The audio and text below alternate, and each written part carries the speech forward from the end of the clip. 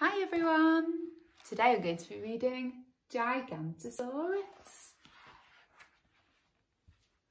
Many million years ago, beyond the path of the lava flow, on the edge of the jungle where the herbivores grazed, four little dinosaurs spent their days, playing in the Cretaceous sun, following the tracks and having fun. You see all the little dinosaurs? Some lava coming from the volcano. The dinosaur mum said, Beware, my child, of the Gigantosaurus, so fierce and wild. With teeth as long as you are tall, he'd soon make a snack of one so small. His feet go stomp, his jaws go crunch. In the blink of an eye, you'd be his lunch is one, two, three, four little dinosaurs. Bonehead, Tiny, Fin and Bill went off to play upon the hill. The Gigantosaurus was on their minds till Bonehead said, I think you'll find we need a lookout and I'm the best. I'll get a good view from that termite nest. But it was only a minute before Bonehead cried, It's the Gigantosaurus! Quick, run and hide! Thud, thud, thud. They ran, they hid, they shook with fear. The Gigantosaurus was coming near. See the horns? But there was no stomp and there was no crunch. Fierce monster had smelled his lunch. It's just Triceratops, Bonehead laughed. You ran, you hid, you're all so daft. Hello, Dad. Hello, son. But you passed my emergency warning trial. Now I think I'll keep watch from that rock a while. But a little bit later, Bonehead cried, The Gigantosaurus! Quick, run and hide! Bom, bom, bom. They ran, they hid, they shook with fear. The Gigantosaurus was coming near. But there was no stump and there was no crunch, no hungry beast after snacks to munch. It's old Brachiosaurus, Bonehead laughed. You ran, you hid, you're all so daft. But danger lurks as you need to learn.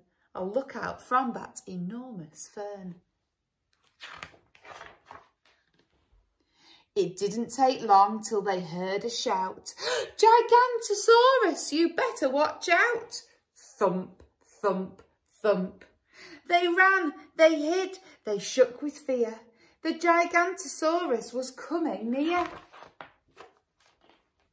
But there was no stomp and there was no crunch, no carnivore with a whiff of lunch. It's Stegosaurus, Bonehead laughed. You ran, you hid, you're all so daft. But at least you've passed my final test. Now I'm going for a nap in that comfy nest. Then seconds later, the cry began. Run as fast as you can. But though his friends heard what Bonehead cried, by now they knew that Bonehead lied. That's it, said Bill. We're off to explore, and we're not going to play with you anymore. Mm, because he kept lying about Gigantosaurus coming. No one left to trick. Bonehead was all alone. He began to wish he was back home, for an awful noise was coming near, and now there was good reason to fear. The feet went stomp,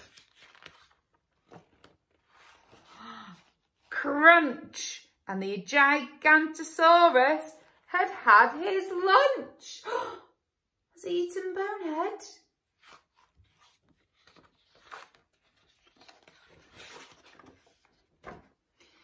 Bonehead's friends came running back. after they heard the tree go crack. Poor Bonehead, it's such a shame. What a sad end to his naughty game. Even though he tricked and lied, at least he taught us how to hide.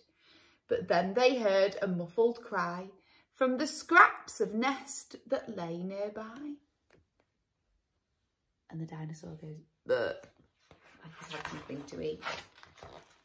I'm here, it's me, I have survived. I'm sorry that I tricked and lied. But this time, honestly, it's true. There was a pterodactyl after you.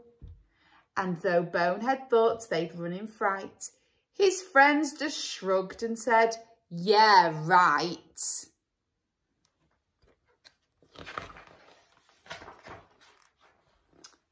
And then all the dinosaurs are in this book.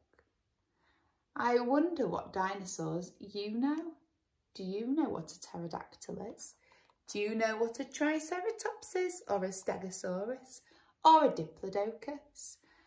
Maybe you can go and research some dinosaurs and find your favourites. And that's the tale of the Gigantosaurus. The end. Thank you for listening to me today. Bye.